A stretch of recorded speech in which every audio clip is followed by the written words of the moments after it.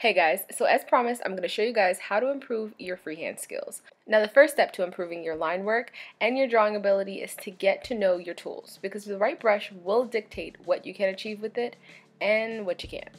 Now, what do I mean by that? Well, I'll show you. These are a few of my favorite brushes. Now, don't be worried, I'm going to actually show you what they're good for, but essentially, you really only need maybe two to three brushes.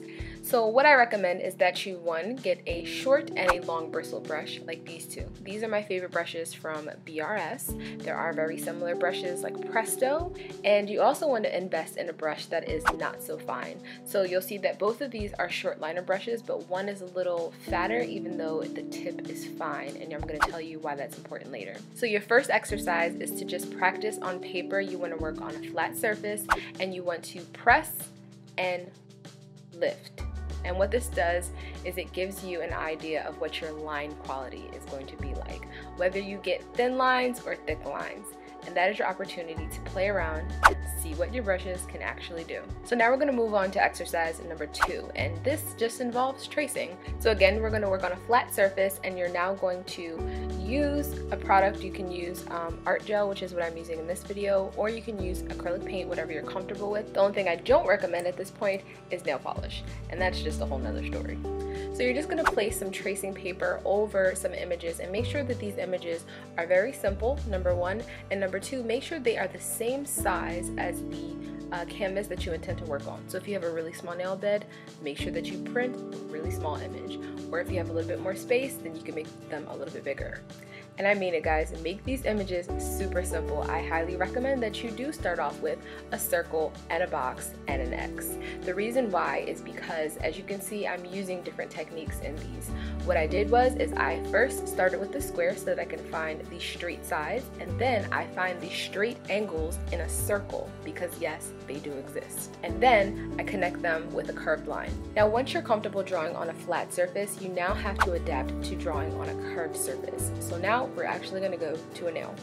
Now, I highly recommend that you mount your nail onto the end of a brush, like I am. The reason why is because you want to get that sensation of holding someone's finger, especially if you're a nail tech, and that goes for everyone. If you always hold someone's finger a certain way, if you always draw a line from a certain angle, continue to do that because you are going to eventually develop muscle memory so you don't want to break your routine. Improving your line art skills is all about forming habits. If you practice on a regular basis and often, eventually you just kind of know what your brush is going to do before you even do it. So part of that is muscle memory and the other part is just habit. Now going from drawing on a flat surface to a curved nail is actually pretty difficult.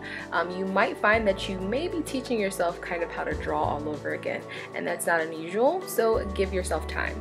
You'll notice that I do use a few tips. You see that I always anchor my pinky because it keeps your hand steady and your line straight.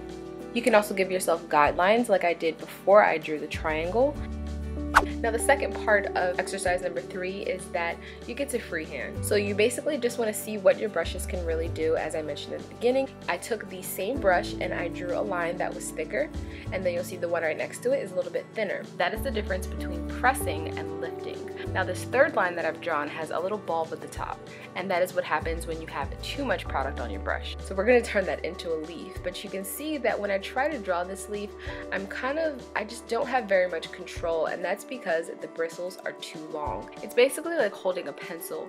The closer my hand is to the eraser the more loose my wrist is meaning the less control I have over what the tip is doing.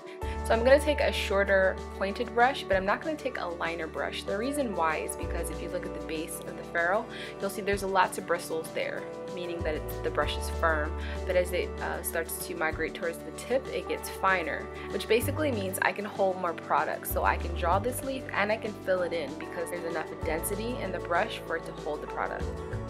Now with a liner brush, um, especially one as short as this, I can get in really good detail, but I can't draw for very long without having to reload my brush. And I'm going to go outside of the lines right now just so I can show you guys how to fix that later. So one of my favorite brushes for uh, contouring or for fixing your mistakes is this pointed one from, I think it's Tati, but that's not all it's good for. Now the reason I say learning your brushes is important because with this brush you can also use other techniques like drawing flower petals. So even though this brush does come to a point, you can see that when I add pressure, of course I widen the stroke. So now you can kind of understand why I had you guys go through different exercises. You really do need to know what your brushes can do in order to know what you can achieve. There's nothing wrong with using tools that kind of do some of the work for you. Yet again, this is another one of those brushes that comes to a point, but when you give uh, pressure, it definitely broadens to a wider brush stroke. This is another one that's good for flower petals of, you know, a different kind of species.